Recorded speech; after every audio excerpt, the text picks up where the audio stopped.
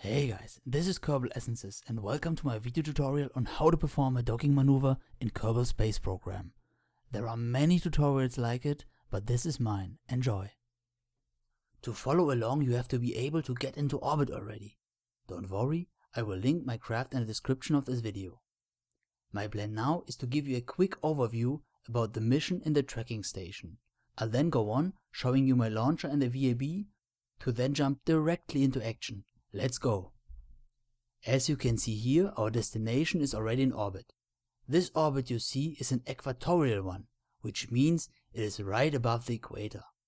This is the easiest to begin with, because it doesn't matter where our target is during liftoff. Aiming for an inclined orbit is a little more complicated, but I will keep it simple for now to teach the basics. I will return to this in the end of the video. See you in the VAB. This is our rocket, which was designed after the famous Russian Soyuz launcher. As you can see, it consists of three parts. The bottom one is the first and second stage, which will boost us into space on a suborbital trajectory. The third stage will circularize our orbit and do all the maneuvering. You might have guessed it, the last part is our payload. It is a small fuselage which will connect two core elements of something, well, secret which you will see in the next video. We are finished here and are ready for launch. Before we start our engines, however, let's mark our destination as a target.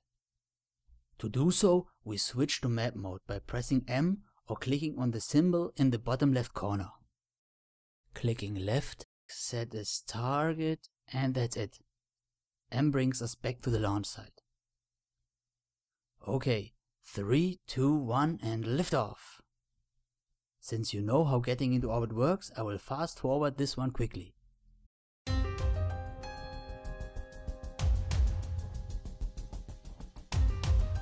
The real Soyuz rocket, by the way, is famous for its so-called Korolev cross.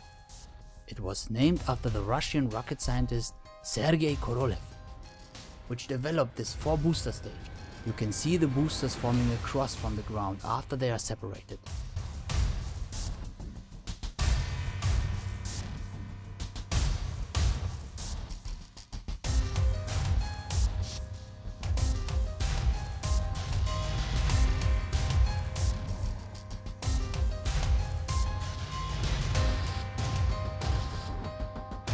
We are nearly in space and before we can circularize our orbit, we have to make sure we are on the right altitude to do so. Here in map mode, we can see if our target is in front or behind us.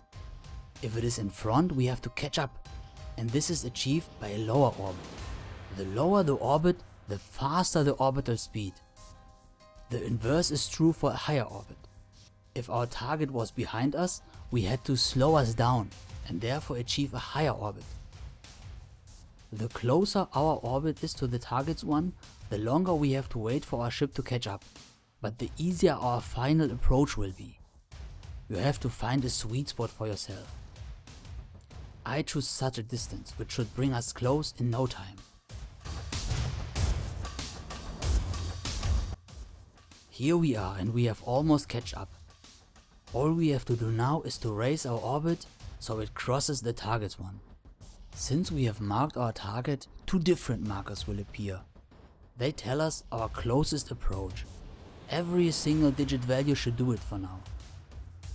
Time for rendezvous guys, I hope you didn't forget the flowers.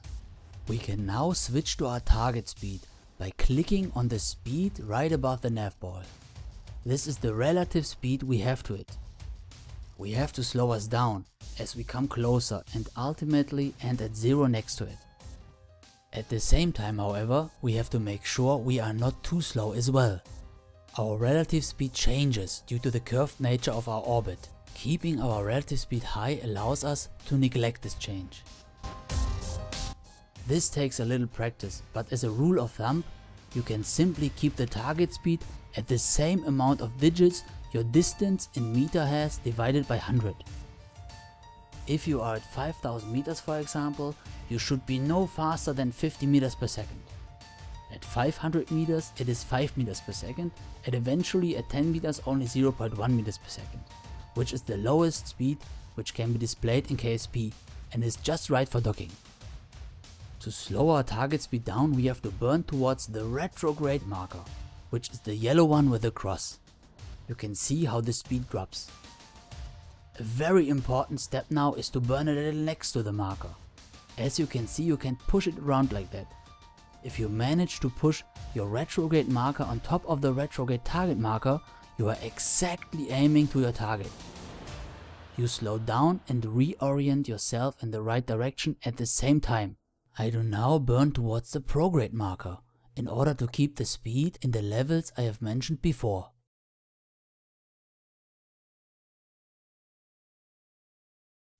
This is fantastic, look at that. The closest approach dropped to almost zero. Now let's keep slowing down until we eventually reach our target.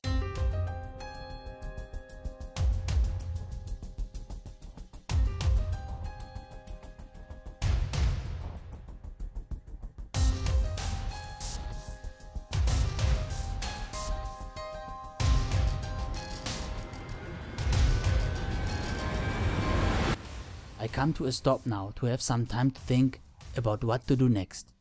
We have to align the docking ports and in order to do that we aim at the target docking port like so and control our ship from ours. Using our RCS we can maneuver much more precisely now. We can toggle it on pressing R on our keyboard. H and N move us forward and backwards, while I, J, K and L translate us up, down, left and right. We can now push us roughly in front of the docking port.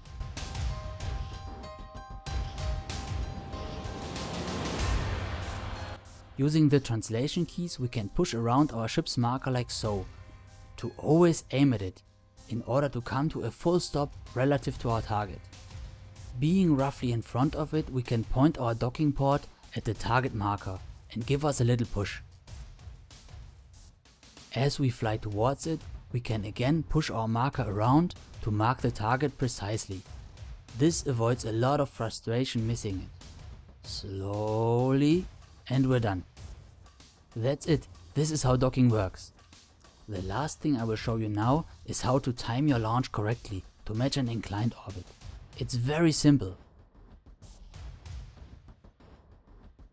Just use the tracking station and wait until the launch site nearly crosses the target orbit.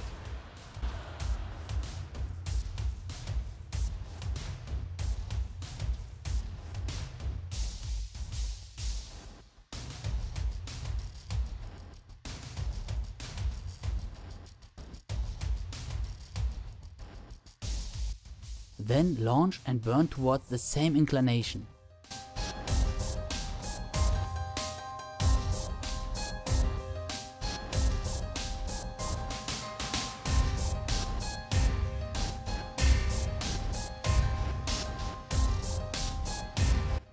The key here is to switch to orbit speed, so you can see your true trajectory including Kerbin's rotation. Keep the yellow marker in the right direction and you can't miss it.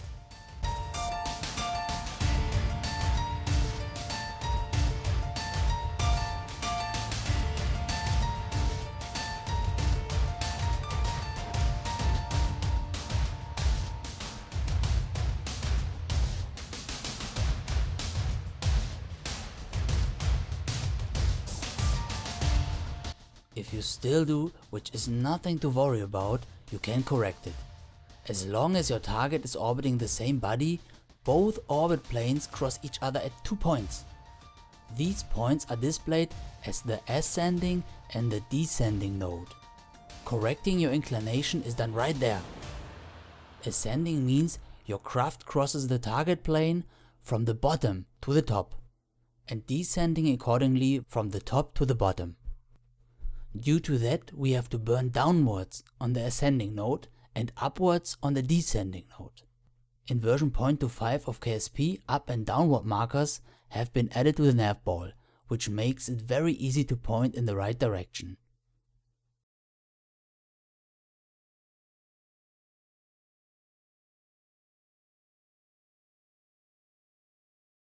This concludes the video and I hope to see you in the next one if you like. Auf Wiedersehen and thank you for watching.